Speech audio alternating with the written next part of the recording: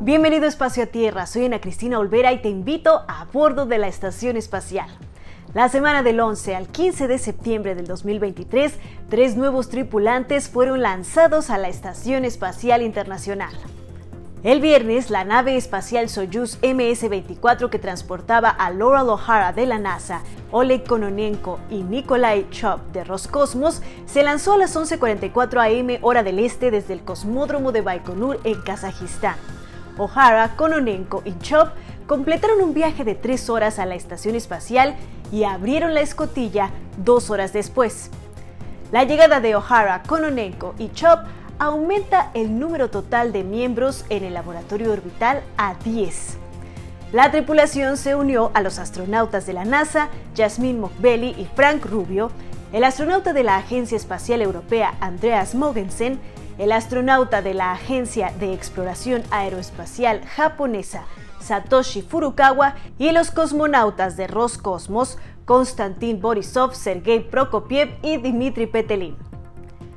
Houston tenemos un nuevo poseedor del récord. El 30 de marzo del 2022, el astronauta de la NASA, Mark Van Hey, completó una misión de 355 días a bordo de la Estación Espacial Internacional, siendo el vuelo espacial más largo de un estadounidense. Ahora, Van der Hyde pasa la antorcha al astronauta Frank Rubio, quien superó los 355 días el lunes 11 de septiembre del 2023 y se programó para regresar a la Tierra el 27 de septiembre después de 371 días a bordo. Van der Hyde llamó a Frank para felicitarlo por un hito histórico desde el interior de control de misión en Houston.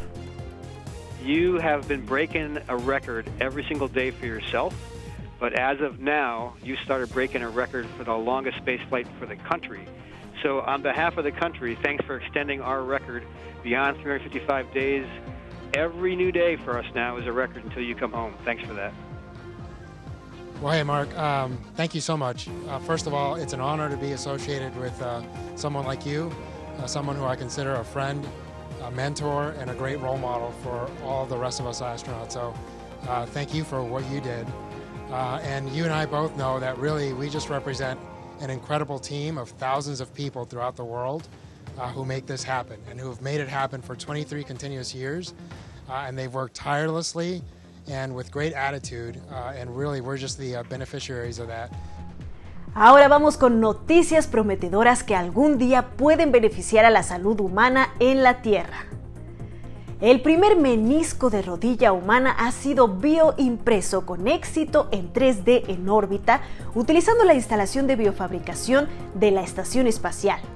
La investigación BBF Meniscus 2 utiliza la instalación mejorada de biofabricación para imprimir en 3D el cartílago de la rodilla utilizando biotintas y células. Este es un paso significativo hacia el desarrollo de soluciones para promover la recuperación de lesiones musculoesqueléticas y también podría conducir a un mayor uso comercial de la estación espacial para fabricar tejidos y órganos para trasplantes en la Tierra.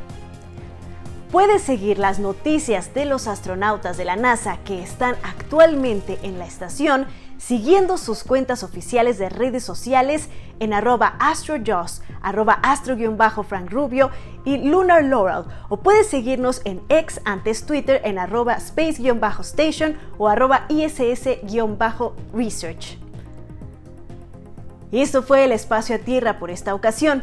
Para más información en español sobre la estación espacial y otras historias, síguenos en la web en ciencia.nasa.gov.